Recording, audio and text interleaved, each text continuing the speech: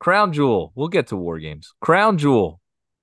One o'clock start time on Saturday. Decent card. Crowd sucked. Crowd was awful. I'm gonna, yeah. I mean, we, we uh, I mean, you really got into it there, huh? Yeah. Usually, you ask me what I liked about the PLE, Tom.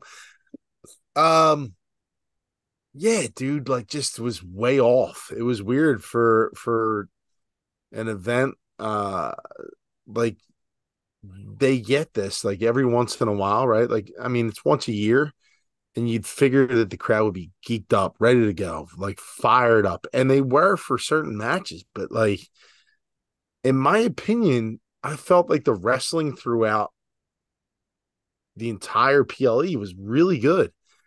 And it didn't get the justice that it deserved. Um it just felt flat. Uh and I don't know where maybe it was the building of the matches, but or maybe I mean they've had pay-per-views in this same arena before. Um, and we've never felt like a reaction like this before. And as hot as the WWE has been, it's just it's it's a strange type of uh aura that surrounded the PLE.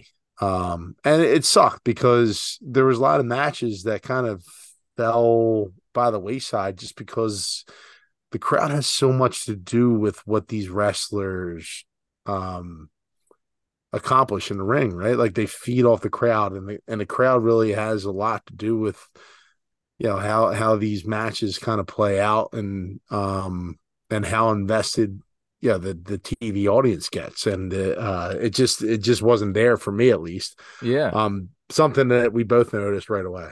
Yeah, and like you said it it, it seemed just just flat.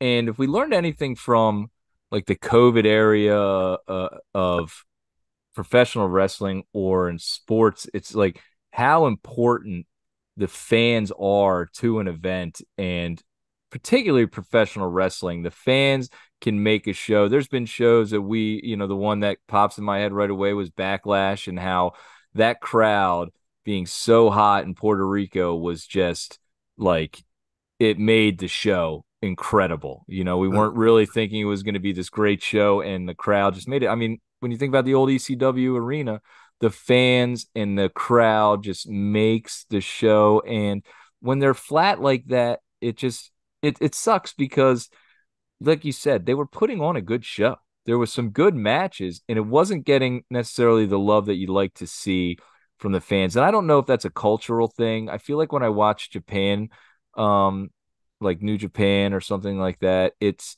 they're a little bit more subdued they're not like out there hooting and hollering and screaming and going crazy. Like when something happens, it'll be like an ooh and an ah, but it won't be like the fans kind of take over and they're chanting. But that get from an American or a European crowd or you know Puerto Rico or wherever. Yeah, let me interject here, Tom, and just say like, and that's that's kind of strange for, uh, like once you get outside, because like look, the American audience, right?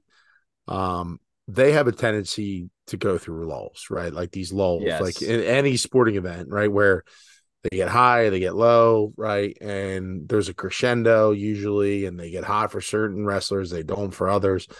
Um, it's the same way with sports, really. Um, and like once once you go outside of the United States, right, you get into these other sports, like you see soccer, or as they say, football in different countries, like European countries, dude, the crowd is nonstop chanting throughout the entire like sporting event. Same like with cricket in different countries too, same way, right? Um, and even in like Japan, like with baseball, baseball is nuts, dude. Like you Right. watch baseball, there's a constant ambiance like throughout the entire game, and it just doesn't stop. And um, we just didn't get it from Saudi Arabia, and we're not sure why that is, but it, it really kind of had a little bit of an impact on how I think the ultimate viewer um experienced Crown Jewel. I agree. And another another place I want to shout out, and they always seem to have a hot crowd, is in Canada.